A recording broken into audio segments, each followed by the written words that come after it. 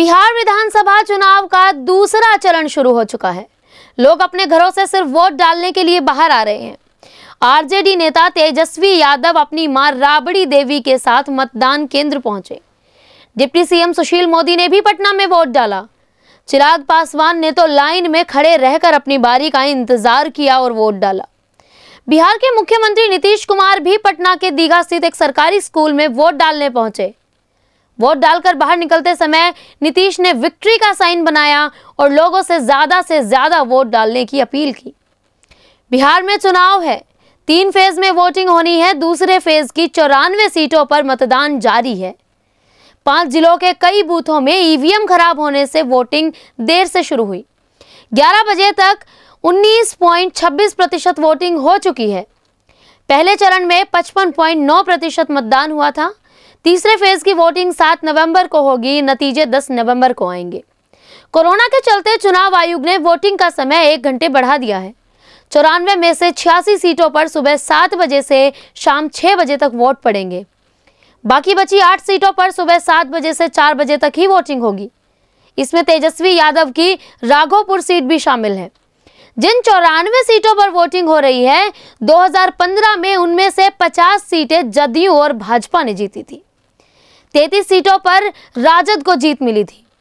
Party के लिहाज से देखें तो 2015 में सबसे ज़्यादा 33 सीटें राजद को 30 सीटें जदयू को और 20 सीटें भाजपा को मिली थी। दूसरे फ़ेज़ की पाँच बड़ी बातें। सबसे ज़्यादा 27 उम्मीदवार महाराजगंज और सबसे कम चार उम्मीदवार दरौली सीट पर। सबसे ज़्यादा बावन सीटों पर राजद, चवालीस चवालीस पर भाजपा और लोजपा चुनाव लड़ रही हैं। जदयू चौतीस और कांग्रेस 22 सीटों पर मैदान में है। इकतालीस पोलिंग स्टेशन बनाए गए हैं। साठ हज़ार दो सौ चालीस ईवीएम का इस्तेमाल होगा।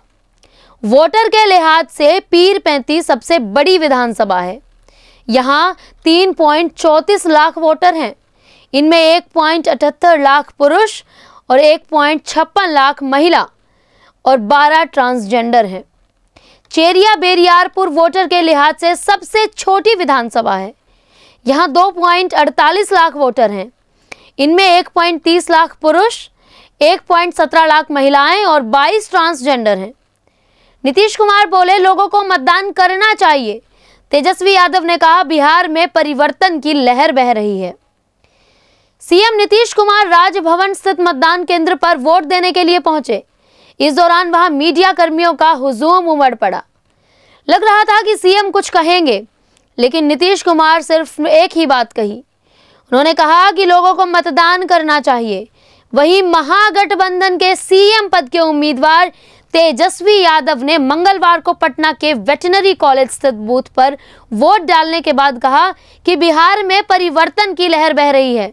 पूरा बिहार बदलाव चाहता है।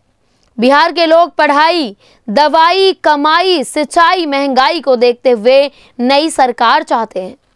पिछले दिनों पूरा बिहार बहुत बुरे दौर से गुजर रहा था। बाढ़ मजदूरों का पलायन और बीमारी की समस्या बहुत भयंकर रूप से उभर कर सामने आई थी। बिहार की जनता इन्हीं सब बातों को ध्यान में रखते हुए नई सरकार चुनेगी। तेजस्वी ने लोगों से मतदान करने की भी अपील की। कहा कि लोकतंत्र के इस त्योहार में बढ़ चढ़कर भागीदारी करें। ऐसे ही लेटेस्ट खबरें पाने के लिए बेल आइकन को क्लिक कर हमारे चैनल को लाइक शेयर एंड सब्सक्राइब करें।